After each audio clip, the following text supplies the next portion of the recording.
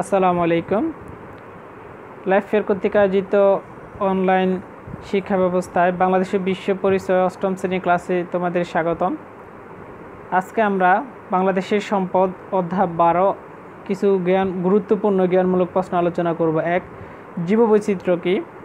প্রকৃতির মধ্যে সব রকমের জীব যে নিয়মে বেঁচে থাকে, তাকে জীববৈচিত্র্য বলে। অর্থাৎ মানুষ, গরু, ছাগল, হাঁস, মোরগ ইত্যাদি যে পানগুলো যে যে সংস্কৃতির মধ্যে বেঁচে থাকে, যেভাবে বেঁচে থাকে, ওদেরকে যে বৈচিত্র্য বলে দুই, প্রাকৃতিক সম্পদ প্রকৃতির কাছ থেকে পাওয়া সব বস্তুকেই প্রাকৃতিক সম্পদ বলে।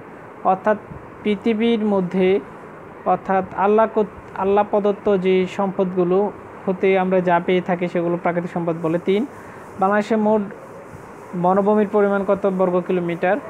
বাংলাদেশে মোট বনভূমির পরিমাণ চব্বিশ হাজার নয়শো আটত্রিশ বর্গ কিলোমিটার।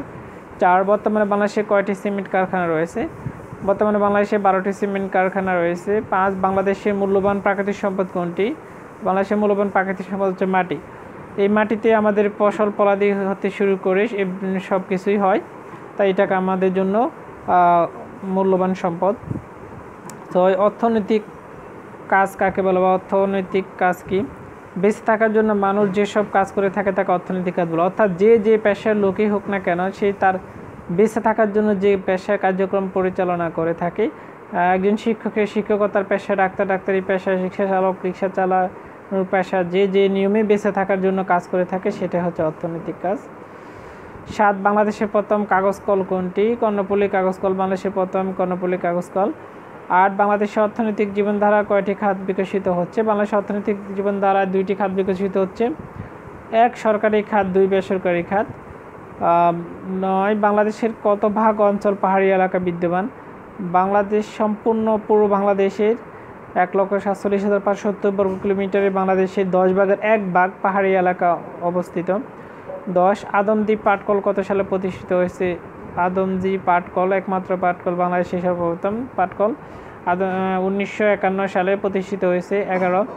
বাংলাদেশের কত ভাগ বনভূমি রয়েছে, বাংলাদেশের ষোলো ভাগ বনভূমি রয়েছে। সেক্ষেত্রে আমরা জানি যে একটি দেশের শতকরা পঁচিশ ভাগ বনভূমি থাকতে হবে, সেক্ষেত্রে বাংলাদেশে মাত্র ষোলো ভাগ আরও বাকি রয়েছে নয় ভাগ আরও পূরণ করতে হবে। তো এখানে সবচেয়ে গুরুত্বপূর্ণ এগারোটি জ্ঞানমূলক প্রশ্ন আলোচনা করলাম।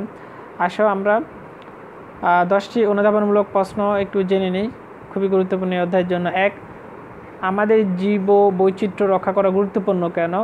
কারণ হচ্ছে এখানে জীব বৈচিত্র্য গুরুত্বপূর্ণ রক্ষা করার কারণ অনেক গুরুত্বপূর্ণ। দুই, জীব জীববৈচিত্র্য ধারণাটি ব্যাখ্যা করো। জীববৈচিত্র্য ধারণাটি বলতে কী বুঝে ব্যাখ্যা করতে হবে? তিন, বাংলাদেশের জীববৈচিত্র্য নষ্ট হওয়ার কারণ ব্যাখ্যা করো। বাংলাদেশে অধিক জনসংখ্যা অপরিকল্পিত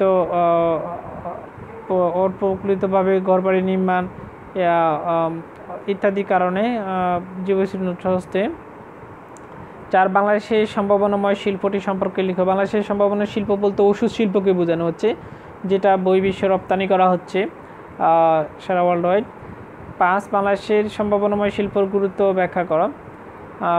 এখানে সম্ভাবনা শিল্প, পোশাক শিল্পকেও বল- বলা যেতে পারে।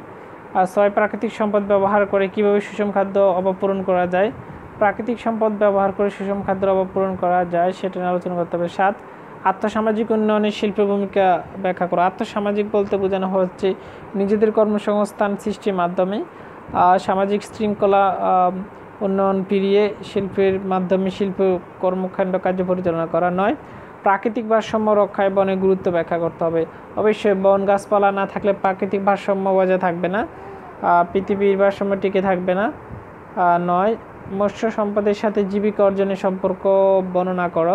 মৎস্য সম্পদের সাথে জীবিকা অর্জনের সম্পর্ক বর্ণনা করতে হবে বাংলাদেশে অনেক মৎস্য মাছ চাষি আছে বা মাছ আহরণ করে, সমুদ্র জীবিকা অর্জন করে থাকেন।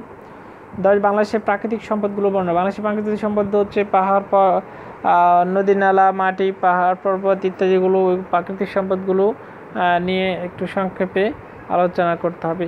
তো সুপ্রিয় শিক্ষার্থীরা, আজকে আমরা বাংলাদেশের শপথ বারো অধ্যায়ের গুরুত্বপূর্ণ অনুধাবন জ্ঞানমূলক প্রশ্নগুলো আলোচনা করলাম। তোমরা আশা করি এগুলো ভালো করে আত্মস্থ করে নেবা। এগুলো খুবই গুরুত্বপূর্ণ পরীক্ষা আসার মতো। তো তোমরা সবাই সুস্থ থাকো, ভালো থাকো। আজকে এই পর্যন্ত আল্লাহ হাফিজ।